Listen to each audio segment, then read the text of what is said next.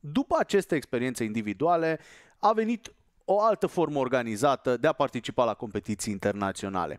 Și asta a fost echipa națională, Team RLR, selecționată, așa cum ai în absolut orice sport, cum susținem naționala de fotbal sau la Cupa Davis o selecționată națională de, de tenis, la absolut orice sport și sim racing-ul începând cu acest an, are o echipă națională și echipa națională merita o arenă de top în care să uh, performeze. Aceasta a fost uh, campionatul SimGrid Endurance Cup care și-a început sezonul al uh, patrulea luna trecută. Hai să vedem împreună în ce culori apare această echipă patronată de Logitech. Așadar, Logitech Team RLR a atacat acest uh, sezon și acum vedem uh, livery-ul său.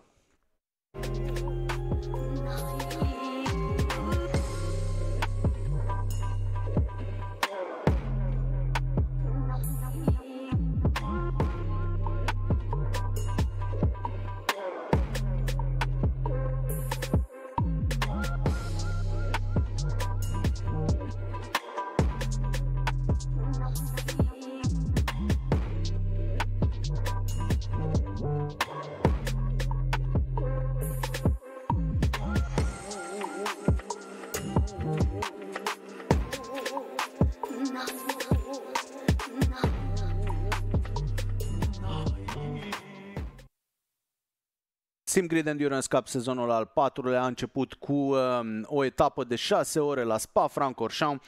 Echipajul uh, României a fost format din Sebastian Apostol, Alexandru Cascatău și Victor Nicolae aici de față.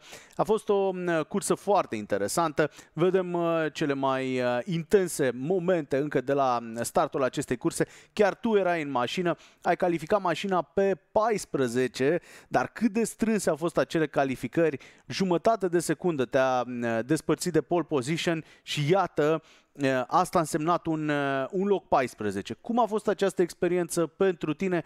Cum ai trăit o cursă în care erau atât de multe nume mari? N-a fost deloc o surpriză. Știam exact care e nivelul acolo. Uh, avem în față în Endurance Cup niște echipaje extrem de puternice. Sunt topul din ACC, fără niciun fel de dubiu. Uh, urmăresc de mult cursele de nivel înalt din ACC. Știam că diferențele vor fi foarte mici în calificări. Știam că orice zecime te poate duce câteva poziții mai sus în calificări. Uh, am vrut să o încercăm și pe asta, să vedem exact unde ne situăm. Uh, spre deosebire de seria Alpin, de challenge-ul global uh, de la Logitech, acestea sunt curse de anduranță. Aici nu contează numai să fii rapid și să te orientezi prin trafic la start și apoi să speri că nu, ai, uh, că nu dai de belele.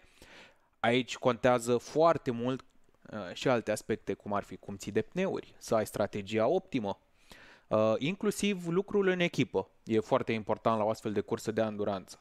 Compromisul de setup între cei trei piloți, exact. ceva ce să funcționeze exact. pentru toți. Uh, da, dacă tot vorbim de mașină, eu nu am foarte multă experiență pe modelul BMW, da? pentru că particip în Racing League Romania pe McLaren, iar aici uh, a fost de un real ajutor uh, Sebastian Apostol, care a reușit să îmi uh, explice destul de repede cum funcționează BMW-ul și m-a ajutat să mă adaptez la el. Uh, lucrurile astea sunt foarte importante într-o competiție de anduranță, să nu uităm, pe echipă. Da? Sunt echipaje de câte trei piloți.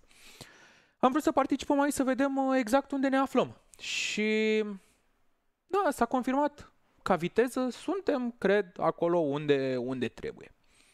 Bineînțeles, puteam să, să obținem un rezultat mai bun și în calificări și în cursă. Cred că ne-am reglat tirul, am făcut uh, destule greșeli, zic eu, uh, cât pentru tot sezonul, de acum nu mai, nu mai repetăm uh, aceleași greșeli. Știm cum trebuie să funcționeze lucrurile, muncim greu să fie mai bine în, în viitor um, și mergem, cred eu, cu, cu mai multă încredere în următoarele etape. Știm unde ne e locul pe grilă, acum trebuie să fim atenți la uh, execuție, da? să nu greșim și să scoatem uh, maximul din ce putem noi. E prima oară când această echipă națională își asumă un uh, sezon complet într-o uh, competiție de cel mai înalt nivel în acest mediu de simulare. Uh, nu va fi un, uh, un line-up fix, mulți dintre simracerii de top vor veni rând pe rând în, în această echipă. Urmează etapa a doua uh, la Monza, acolo va fi uh, și Cristian Berindea pentru prima oară în echipaj. Urmează Paul Ricard, acolo va veni Victor Taraș, vor fi și, vor fi și alții. Tot timpul va fi și acest uh, efort de adaptare și de um, acomodare. Vei ajunge practic să îți cunoști foarte bine, mult mai bine lucrând cu ei aici, inclusiv rivalii din, din Racing League Romania cu care poate nu era întotdeauna în postura de a, de a împărtăși atâtea date și atâtea secrete, nu? Da, cred că un lucru special în uh, comunitatea Racing League Romania, e, sună clișeic, dar e foarte adevărat. Chiar suntem uh, prieteni, majoritatea dintre noi. Unii ne vedem mai des, cu alții mai rar, dar întotdeauna când se întâmplă asta ne înțelegem foarte bine și ne distrăm uh, copios împreună.